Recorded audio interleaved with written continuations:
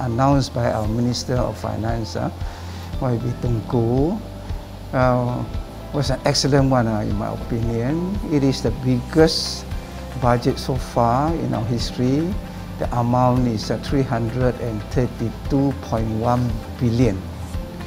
Now there are three main focuses uh, on that. Uh, one is the economic reform, resilience, and uh, how for the recovery of our economy, especially uh, after two years of COVID-19 uh, pandemic.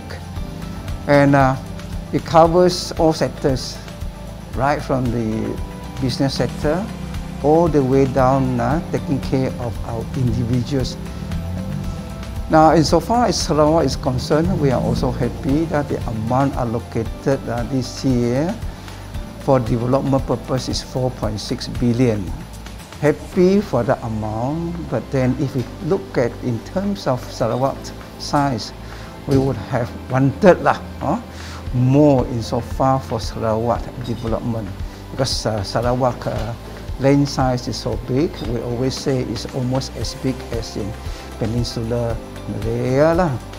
Now, the other one I'm happy also that our government, uh, especially through this budget, is putting a lot of money for our education because education uh, is so important for our children.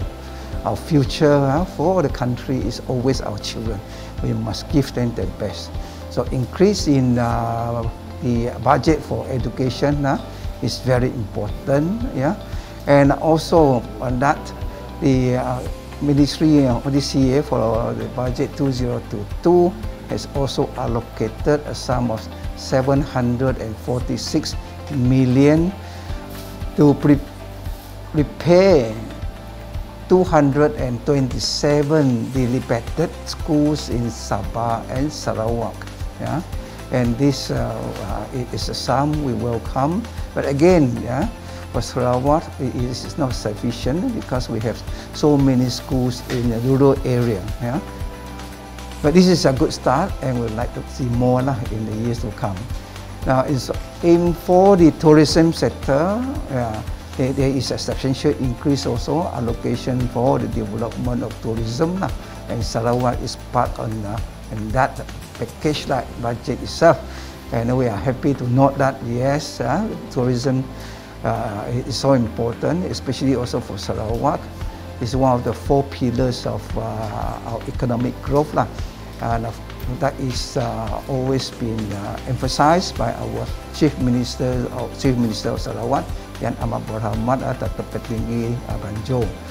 And overall, yes, uh, the budget is good, expansionary, and uh, in the fight for COVID-19, especially again, uh, extra 3, 4 billion uh, being allocated for that. And, and in the whole process, we hope next year our country is uh, on the road to recovery with all this extra budget coming up for this year 2022 budget. Thank you.